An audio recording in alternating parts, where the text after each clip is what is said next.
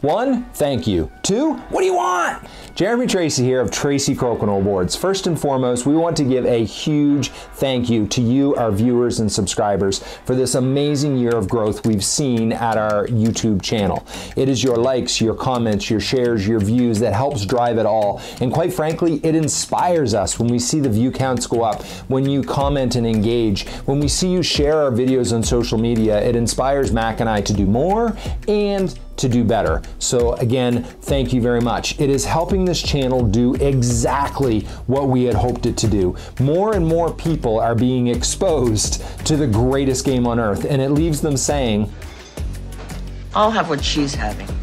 Second, 2022 is just around the corner and we want to know what do you most want to see in regards to crokinole content. Are there crokinole rule clarifications that you'd like to learn more about? One of our most viewed videos in the past year was crokinole's most confusing rule. Or would you like to see more of the skills and the drills and the solo crokinole challenges that you can take on? And along those lines, in our most recent skills video about the follow through 20, I mentioned visualization and how it can help accomplish that shot. And saying that attracted a little bit of attention. So my question is, would you like to hear more about the mindset and the strategy behind some of the shots and the shot selections for the greatest game on earth? Then there's the crokinole humor when you see us do things like our skits about the ridiculous ways to share word about the greatest game on earth, or the crokinole athletes interview. Mm. and correct me if I'm wrong, there was a single tournament out there. Uh, pretty obvious Mac and I are having a lot of fun doing those. oh, stay away from those invalid shots.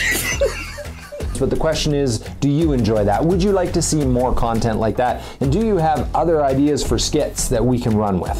We'd love to hear that in the comments below. Another category that we would really like to do more of moving forward would be crokinole community updates. Now I know the NCA has been on hold, but I also know I've seen different posts on social media that there are some clubs that are up and running again. There are different events or even mini tournaments that are happening, like the ones that happened at uh, at PAX Unplugged.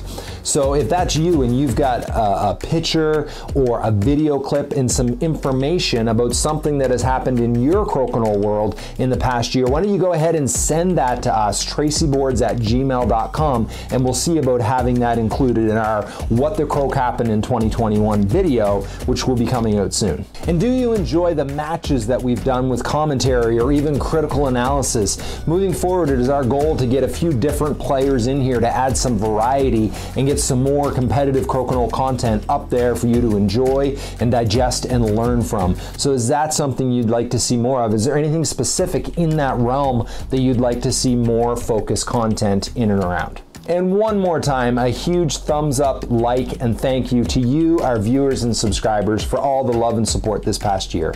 And as this year comes to a close, we really hope that you have the opportunity to connect and gather with your friends and family. If that happens to be around the board playing the greatest game on earth, that's even better.